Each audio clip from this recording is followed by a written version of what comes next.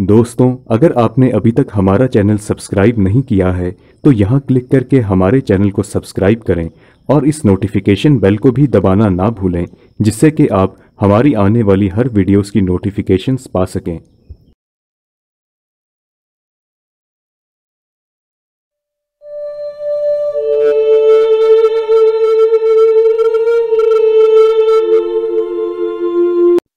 जैसा कि आप जानते हैं कि हमारा ब्रह्मांड बहुत बड़ा है तो ज़ाहिर है कि इसमें बहुत सी चीज़ें बनती और नष्ट होती रहती हैं।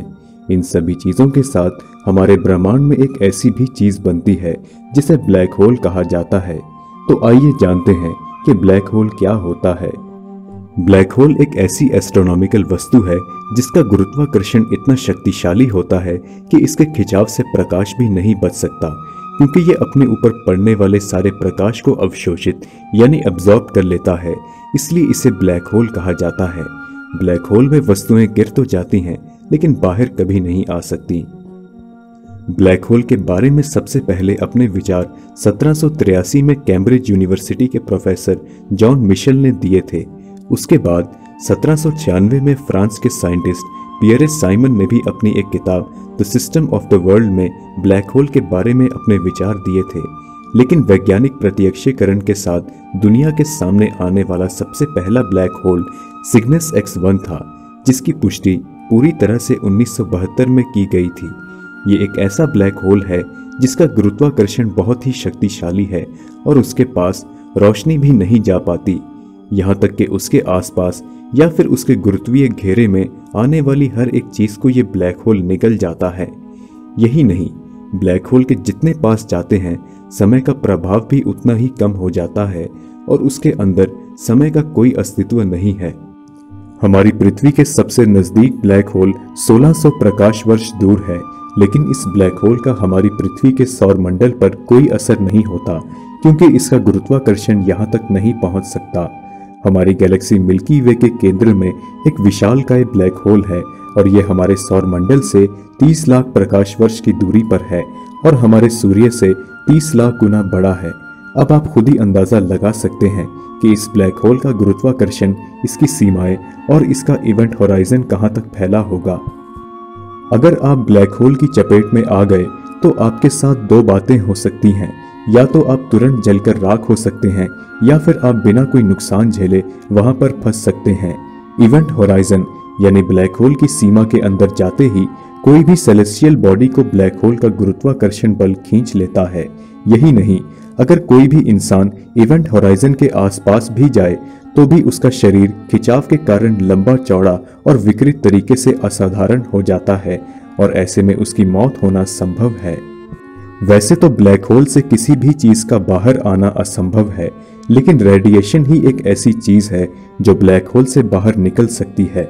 वैज्ञानिकों के अनुसार ब्लैक होल जैसे जैसे रेडिएशन छोड़ता है वैसे वैसे वह अपना मास खो देता है और इसी प्रक्रिया के कारण उसका अंत हो जाता है। ब्लैक होल्स विनाशकारी नहीं होते, वह केवल अपने गुरुत्वाकर्षण में आने वाली चीज़ों पर ही अपना प्रभाव डालते हैं। कुछ वैज्ञानिकों के अनुसार ब्लैक होल्स बहुत ज़्यादा ऊर्जा पा सकते हैं, लेकिन ये इतना आसान नहीं है। अगर आप ये सोच रहे हैं कि अगर दो ब्लैक होल्स एक दूसरे के करीब आ जाएँ तो क्या होगा? तो ऐसे में वे दोनों एक दूसरे की ओर खींचे जाएँगे, जिससे उनका गुरुत्वाकर्षण बल एक समान हो जाएगा और दोनों मिलकर एक नए ब्लैक होल को जन्म देते हैं। कई बार ब्लैक होल में शोर भी होता है जब भी कोई बड़ा आकाशीय पिंड, यानी कोई सेलेस्टियल बॉडी ब्लैक होल के इवेंट होराइजन में आती है तो उसके मॉलिक्यूल्स बिखर जाते हैं और वे प्रकाश की गति से ब्लैक होल के केंद्र में जा गिरते हैं, जिस कारण शोर पैदा होता है।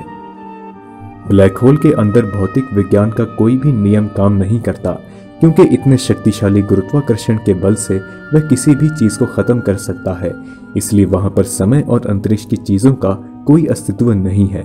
अगर किसी भी तरह की वस्तु वहाँ पर जाती है तो वह नष्ट हो जाती है। जब कोई विशाल तारा अपने अंत की ओर पहुँचता है तो वह अपने भीतर ही सिमटने लगता है। धीरे धीरे वह भारी भरकम ब्लैक होल बन जाता है और सब कुछ अपने अंदर समेटने लगता है। आइंस्टाइन का कहना है कि किसी भी चीज़ का गुरुत्वाकर्षण स्पेस को उसके आसपास लपेट देता है और उसे कर्व जैसा आकार देता है। ब्लैक होल को ऊर्जा उसके मास से नहीं मिलती। ये बात बिल्कुल सच है कि ब्लैक होल का मास बहुत ज़्यादा होता है, जिसका कारण है बहुत सारे आकाशीय पिंडों का इकट्ठा होना, जिसके बाद वे आपस में सिकुड़कर एक बिंदु समान अवस्था में कंप्रेस हो जाते हैं और इतने छोटे से आकार में ज़्यादा डेंसिटी होने के कारण ब्लैक होल का गुरुत्वाकर्षण बहुत शक्तिशाली होता है। ब्लैक होल के बारे में कई रिसर्च किए गए और इसके कई रहस्यों को साइंस ने दुनिया के सामने रखा है। ये बात सच है कि आने वाले समय में हमें ब्लैक होल के बारे में और भी जानकारी प्राप्त होगी और शायद हम इसकी ऊर्जा का इस्तेमाल भी कर सकेंगे।